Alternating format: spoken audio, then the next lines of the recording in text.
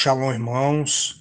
Que o Eterno abençoe a todos. Graças ao Eterno, mais uma oportunidade que nós temos de estarmos na Sua presença, aprendendo um pouco mais da Sua palavra, aprendendo um pouco mais da Sua Torá. E nesse estudo especificamente, aprendendo um pouco mais sobre o Shabat. Hoje é 5 do 5 de 2023 mais um Shabat. Então, eu desejo um Shabat de paz a todos.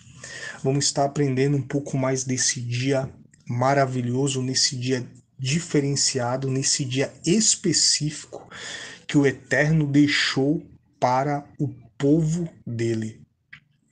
Existe uma frase muito conhecida no meu judaico que é a seguinte: mais do que o povo de Deus guardou o Shabat, o Shabat guardou o povo de Deus. E foi para isso também né, que o Eterno criou o Shabat né, é, para guardar o povo dele. Então, nesse estudo, a gente vai ver algumas profundidades sobre o Shabat, porque o Shabat, irmão, ele tem muita coisa para nos ensinar. O Shabat ele também é um pedacinho, ele simboliza um pedacinho da eternidade aqui na terra. Hebreus 4:9 diz assim: resta ainda um repouso para o povo do eterno, resta ainda um Shabat para o povo de Deus. OK? Então vamos ao estudo. A palavra hebraica Shabat está associada a chuva, retorno, que é a raiz de Techuvá, que significa o retorno ao eterno, o retorno a Deus, o retorno a Hashem. Essa associação de palavras revela um dos propósitos fundamentais do Shabat, o retorno à fonte primitiva e suprema, pois o Shabat serve para nos lembrar constantemente de que foi Deus quem criou os céus e a terra e que, portanto, toda existência pertence a Ele e dele depende. Esse conceito é elucidado pelo Rabi Shaim Atar, o Or HaShaim.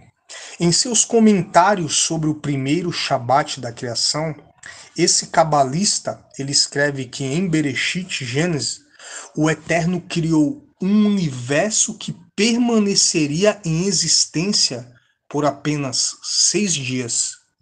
No sétimo dia da criação, o Eterno criou o Shabat, que a cada semana provê ao universo uma fonte de vida que lhe permite existir por mais seis dias.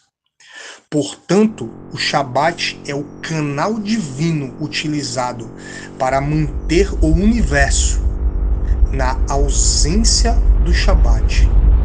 O mundo reverteria a não existência sem o Shabat.